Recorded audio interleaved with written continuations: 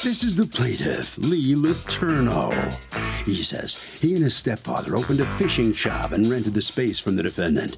They were successful for 10 years, but once his stepfather passed away, he decided to close down.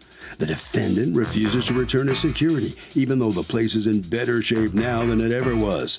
They had such a good tenant landlord relationship all those years, and it's sad people can be so darn money hungry sometimes. He's suing for $5,000, the money he's owed.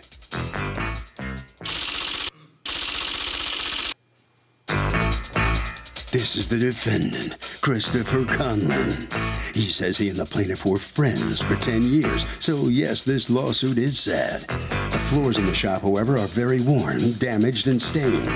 He has to replace them to re rent the space, and that costs money. Plus, the place smells like live bait and it has to be fumigated. He was willing to negotiate, but now that there's a lawsuit, all deals are off the table. He's accused of acting fishy.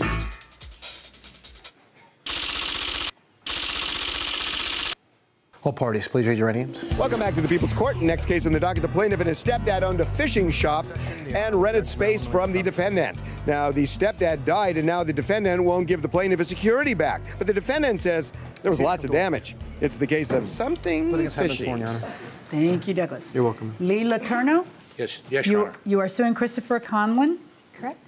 For $5,000, 3,000 of it your security deposit back, 2,000 overpayment of rent, and according to you, he refuses to give it back. According to you, you're entitled to it for damages. Tell me what happened.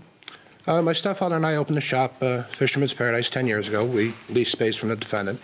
Uh, this last spring, my stepfather unfortunately passed. I'm sorry to hear that. Uh, thank you. Uh, it was a family decision. We decided to close the business.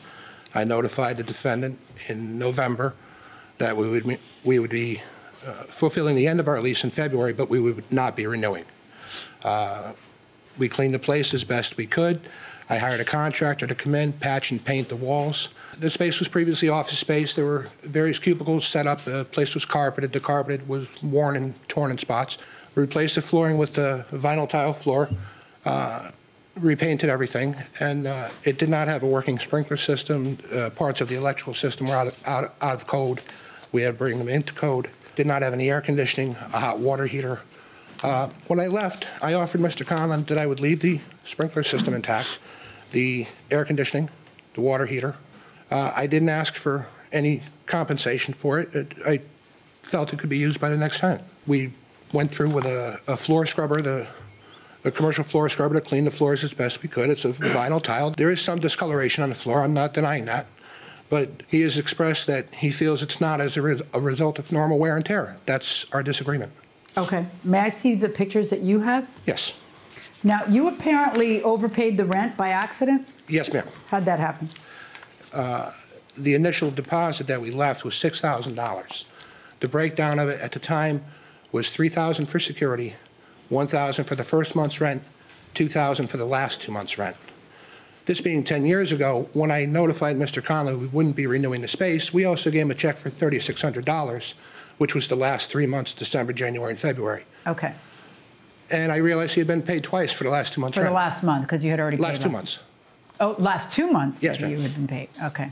So while you're These looking for those are- pictures, let me hear from you, Mr. Conlon. Why is it that you're keeping their money after 10 years? Were, were they good tenants? They were very good tenants, yes. Very good tenants. Why is it you're keeping the $5,000, including $2,000 of an overpayment of rent? So, does the landlord get to keep the security deposit because of the fish smell? I say no. Uh, you just don't. If you don't want it to smell like fish, don't rent a fish store. That is certainly a point of view. You agree with that? I agree. It depends if depends on the the lease terms. If it's I thought you said it depends on the kind of fish it is. Salmon's okay, but not tuna. Is that the point? correct. Okay, I get it. Okay, going inside the courtroom. Yeah, they, they, they did say they overpaid the rent, which they did overpay. Um, and they wanted all their security deposit back, the $3,000. I said they were entitled to, you know, I'll give them back their overpayment of rent. I didn't Oh, realize that's big it. of you. Well, I didn't realize that they overpaid. I know they didn't know. realize it either. So, and I didn't. Not, and there was right. no, you know, that no should have been that check should have been written before anybody got here. Why wasn't that done? Like at that moment, why did why didn't you just say, "Oops, yeah, we all made a mistake," and send back the Well, rent? because they had hired a lawyer, and the lawyer was threatening triple damages. Yeah, but that doesn't happen. Nobody So- runs out and hires a lawyer unless they spot that there's a problem already. We didn't realize the overpayment until the official lawsuit was claimed, and that came in Is the that official true? suit. That no. one realized the overpayment? When do No. you say you let him know about the overpayment? We had discussed uh, the $5,000 uh, when we did the walkthrough uh, April 12th. And when did you hire a lawyer?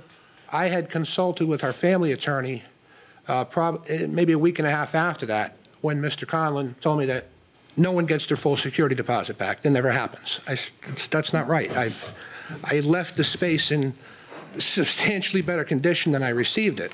Did you state the phrase "no one gets their entire security deposit back"? No, no, no. With the floors in this shape, they weren't going to get the entire security deposit back. And I have pictures and an estimate. Yeah, let me see your pictures.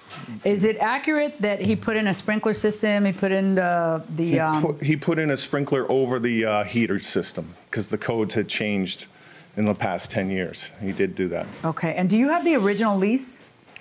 I Or may the last have it. lease? I may. Ha- I have the last. I have a Do you copy. have the lease? I have a copy of the Yeah, let original, me see yes. it. I mean, there's clearly he can't rent it to somebody else with these floors. You understand that, right? He has to replace those floors because of the rust stains. His pictures are way better than yours at showing the rust stains. He, he took them. I, I expect Yeah, that. I mean, that, you know, that's that's a problem. No other retailer is going to walk in and say, "Oh, I'd love to open up a shop here. These have to be replaced." Um, now, your estimate for replacing it is what, six thousand dollars? Because this is a vinyl floor, 4,400. And I offered to split the cost. And your estimate for re- replacing it is what? My estimate was uh, 16 and change. Uh, May I see your estimate? Yes, ma'am.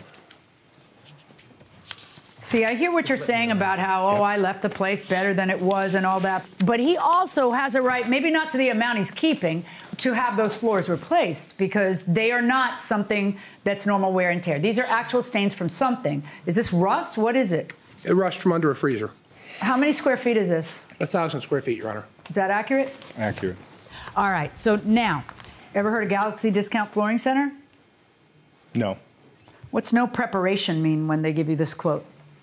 There's no prep to be done. It's going to be laid down over the existing floor. The only thing that's on there now is the vinyl tile that's right on the concrete pad of the store. Is that a normal way to do it?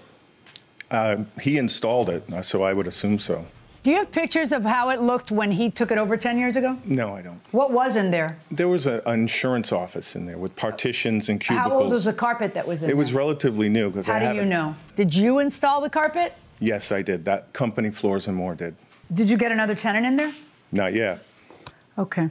Since the job can be done for about $1,600, I'm going to allow you to keep $1,600. I agree with you that that's not acceptable to turn them over that way. But that means that you need to return to the plaintiff the amount of $3,400 for the overpayment of the rent and the excess of security deposit. That's my judgment. Good luck, folks. Thank you.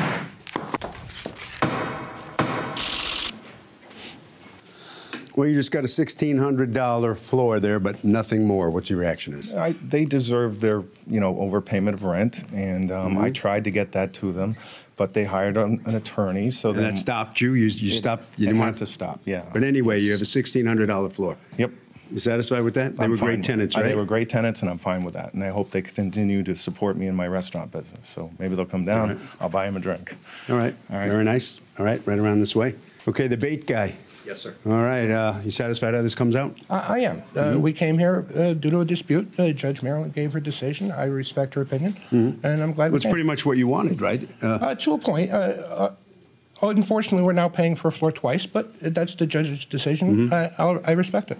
Okay, uh, bait. What about bait? Uh, What, what are we fishing for out there? Striped bass. Got a fisherman there. Go back and Thank you very much. talk to the fisherman. Harvey? So here's the uh, standard operating procedure, Curt. When you rent a place, you have to return it to the landlord in exactly the same condition, or basically the same condition as you got it.